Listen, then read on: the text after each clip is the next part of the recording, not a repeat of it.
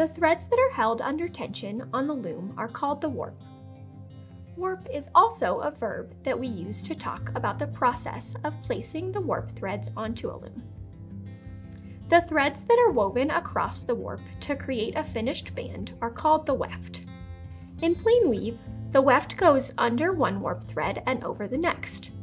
On the next row or pick of weft, the weft will go over the opposite warp threads. Through repetition of this process, the fabric is created. On an inkle loom, our fabric is warp faced, meaning that we only see the warp when looking at the finished piece. The weft is visible only on the edges of the weaving, which are called selvages. The warp threads are split into two different groups. The threads that are heddled and the threads that are unheddled or open. On an inkle loom, a heddle is a device that holds the threads stationary. It keeps all those warp threads at the same height. Open threads, on the other hand, move up and down to create what we call a shed.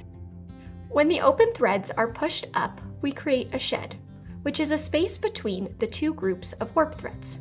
This shed allows for us to place our weft thread through and in turn create our fabric.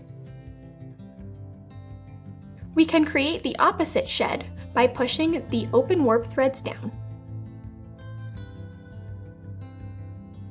Our weft thread is held on a shuttle that we place through the shed.